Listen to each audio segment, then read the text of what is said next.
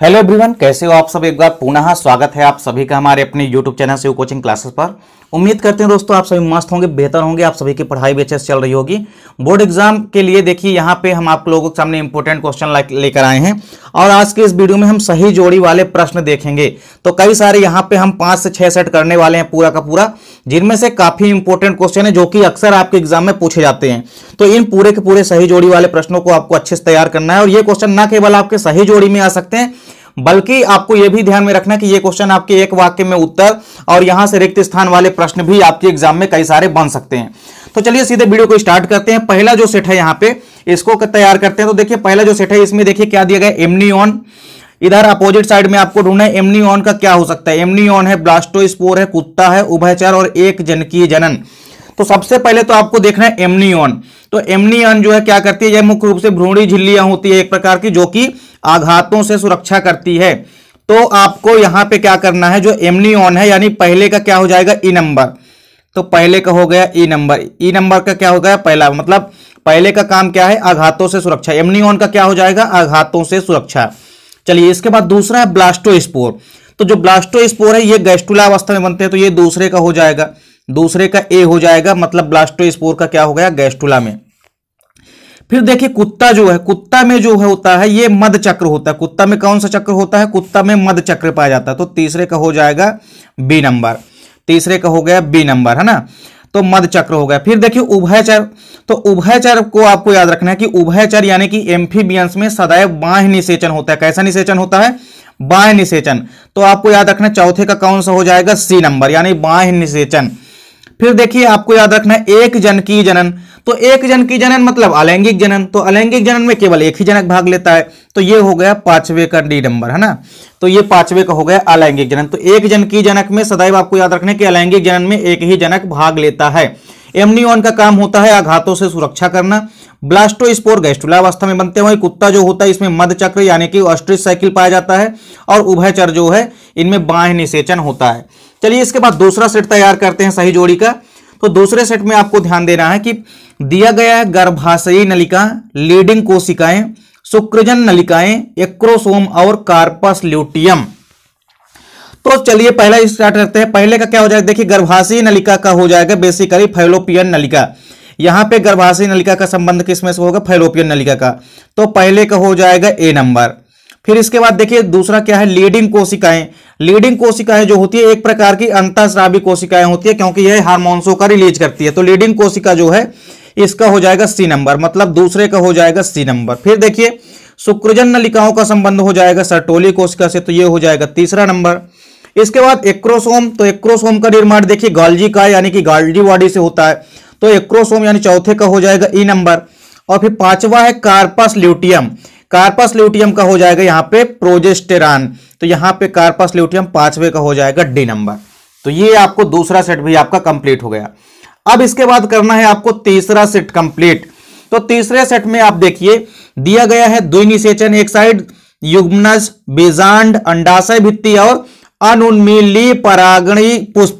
तो आपको सबसे पहले तो ध्यान में रखना है कि जैसे ही द्विनिषेचन आता है, इधर देखिए आप क्या हो सकता है, बीज, भ्रूण आवृत्त बीजी पादप पौधे स्वयुग्मक और पेरिकार्प तो देखिए द्विनिषेचन आपको याद रखना है कि सदैव आवृत्त बीजी पौधों का ही महत्वपूर्ण लक्षण है। तो यहाँ पे द्विनिषेचन का हो जाएगा आवृत्त बीजी पादप यानी पहले का हो जाएगा सी। तो सी नंबर जो है, ये पहले का आपका आंसर हो जाएगा। फिर देखिए, युग्मनज का मतलब होता है जाइगोट तो जाइगोट में आप देखेंगे कि जाइगोट जो है, किसमें बदल जाता है? तो जाइगोट आपका जो होता है जाइगोट बाद में किसमें बदल जाता है? भ्रूण में बदल जाता है। क्योंकि जाइगोट से बीज तो बनेगा नहीं, इसलिए आपको याद रखना है कि जाइगोट किसमें बदल जाता है? भ्रूण में बदल जाता है। तो दूसरे का हो जाएगा बी नंबर, यानी सामने सामने आप ऐसा कह सकते हैं कि युग्मनज का क्या हो जाएगा? भ्रूण। फिर देखिए, तीसरा है बीजांड। तो सभी को पता है कि जो बीजांड का विकास होता है, बीजांड से किसका विकास होता है? बीज का विकास होता है। तो बीज जो है, ये हो जाएगा तीसरे का। बीजांड का क्या हो जाएगा? तीसरे का बीज हो जाएगा। तो तीसरे का तीसरे का क्या हो गया? ए हो गया। फिर चौथा नंबर है अंडाशय भित्ति। तो अंडाशय की जो भित्ति होती है, वो बेसिकली पेरिकार्प। पेरिकार्प यहाँ पे अंडाशय की एक भित्ति है। क्योंकि अंडाशय की भित्ति से पेरिकार्प का निर्माण हुआ तो ये हो गया अंडाशय भित्ति। यानी चौथे का हो गया पेरिकार्प। तो ये चौथे का हो गया पेरिकार्प। अब पांचवा जो बचा है, अनुन्मीलीय परागणी पुष्प का हो जाएगा स्वयुग्मक। इसका क्या हो जाएगा? स्वयुग्मक। तो पांचवे का हो जाएगा यहाँ पे डी नंबर तो इस प्रकार से तीसरा सेट भी हमारा कंप्लीट हो चुका है। इसके बाद देखिए, अगला प्रश्न है अंत गर्भाशयी युक्ति। अब देखिए, चौथा सेट हम कंप्लीट करेंगे यहाँ पे तो चौथा सेट है अंत गर्भाशयी युक्तियाँ, फिर इसके बाद है बंधताकरण, इसके बाद है सिफिलिस, यौन संचरित रोग और प्रेरित गर्भपात। तो इसमें आप पाएँगे, सबसे पहले जो अंत अंत गर्भाशी युक्तियाँ, इसमें देखिए क्या हो सकता है, ट्यूबेक्टोमी, रजित रोग एमटीपी कॉपर्टी और ट्रेपिन्यूमा पैलिडम तो देखिए अंता गर्भाशी युक्तियों में मुख्य रूप से कापर टी आ जाएगा। कापर टी जो है, ये अंता गर्भाशय युक्तियाँ क्योंकि इस युक्ति को गर्भाशय के अंदर जो है स्थापित किया जाएगा। तो पहले का हो जाएगा, आपको याद रखना है, पहले का हो जाएगा डी नंबर।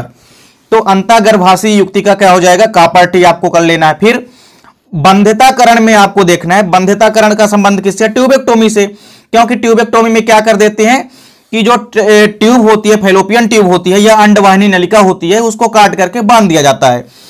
जिससे कि आगे निषेचन नहीं हो पाता। तो इस प्रकार बंधिताकरण का यहाँ पे हो जाएगा ट्यूबेक्टोमी। तो ट्यूबेक्टोमी जी दूसरे का हो जाएगा। बंधिताकरण का हो जाएगा ट्यूबेक्टोमी। तो दूसरे का हो गया ए नंबर। फिर सिफिलिस सिफिलिस रोग जो है, ये ट्रेपिनुमा पैरिडम द्वारा होता है। तो तीसरे का हो जाएगा ई नंबर। कौन सा हो जाएगा? तीसरे का ई नंबर हो गया। फिर यौन संचरित रोग। तो यौन संचरित रोग जो होता है बेसिकली ये रजित रोग है। कौन सा रोग है? रचित रोग है। तो आपको यहाँ पे चौथे का कर लेना है। बी नंबर फिर बचा प्रेरित गर्भपात का संबंध किससे है? एम यानी मेडिकल टर्मिनेंस ऑफ़ प्रेगनेंसी तो पांचवे का हो गया आपका सी नंबर तो चौथा सेट भी हमारा यहाँ पे कंप्लीट हो चुका है। अब इसके बाद देखिए, अगला जो नंबर है, अगला सेट है यहाँ पे सही जोड़ी का। चलिए एक साइड देखते हैं। एक साइड आप ऐसा भी मान सकते हैं सभी में कि एक साइड हमारा ए सेट है, एक साइड जो है हमारा बी तो देखिए, ऊतक संवर्धन है, बीजांड है, भ्रूण पोष है और गोनेरिया रोग है और अनिषेक जनन है। तो सबसे पहले आप इसका कर लेंगे, देखिए भ्रूण पोष जो है, यानी तीसरा नंबर जो है, भ्रूण पोष जो है, आपको पता है कैसा होता है? त्रिगुणित होता है अर्थात ट्रिप्लॉइड होता है। तो त्रिगुणित किसका हो गया भैया? तीसरे नंबर का, तीसरे का ई नंबर हो गया आपका, भ्रूण पोष हो गया त्रिगुणित। फिर गोनेरिया रोग का संबंध जो है, मूत्र मार्ग से होता है तो ये हो गया चौथे नंबर का मूत्र मार्ग तो चौथे का ए हो गया। फिर देखिए जो अनिषेक जनन है, अनिषेक जनन में आपको याद रखना है कि इसका एग्ज़ाम्पल कौन सा है? मधुमक्खी। तो ये हो गया पांचवे का क्या हो गया आपका? डी नंबर यानी मधुमक्खी। फिर देखिए बीजांड। बीजांड से किसका निर्माण होता है? बीज का। तो दूसरे का हो गया आपका, ये बीज हो गया, यानी दूसरे का हो गया सी नंबर फिर ऊतक संवर्धन का संबंध है कैलस से। तो ऊतक संवर्धन का ये हो गया पहले का बी नंबर तो इस प्रकार आज के इस वीडियो में हमने यहाँ पे सही जोड़ी के पाँच सेट आपको कंप्लीट कराए हैं।